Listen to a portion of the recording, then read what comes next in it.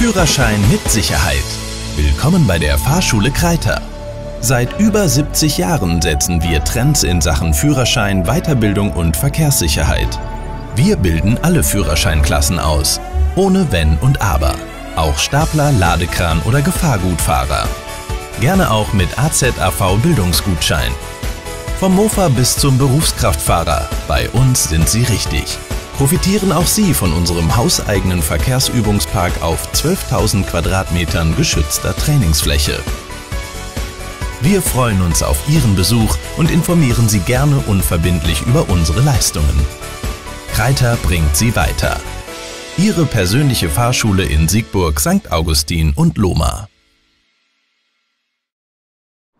Im Rahmen einer gemeinsamen Pressekonferenz mit der Verwaltung der Stadt Lohmar hat der ADFC Bonn-Rhein-Sieg die Ergebnisse des Fahrradklimatests für Lohmar vorgestellt. Mit einer Gesamtnote von 3,7 liegt Lohmar beim Fahrradklimatest 2018 im kreisweiten Vergleich hinter Meckenheim auf dem zweiten Platz. In Lohmar haben sich 128 Fahrradfahrer beteiligt, deutlich mehr als bei der vergangenen Befragung 2016.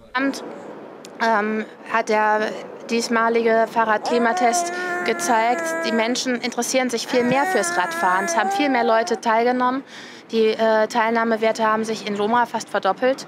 Und so ähm, scheint auch das Interesse ähm, uns entgegenzukommen. Für die Stadt Loma ist das Thema Radverkehr für die Politik und Verwaltung ein wichtiges Dauerthema. Von daher gesehen ähm, sind wir optimistisch, dass wir die Dinge, die bemängelt wurden, auch angegangen werden können. Zum Beispiel die Parken auf den Bürgersteigen bzw. auf den Fahrradwegen. Es geht darum, Fahrradfahren in Loma soll Spaß machen und auch sicher sein. Trotz berechtigter Anforderungen der Radfahrenden konnte die gute Bewertung für die fahrradfreundliche Stadt Loma gehalten werden.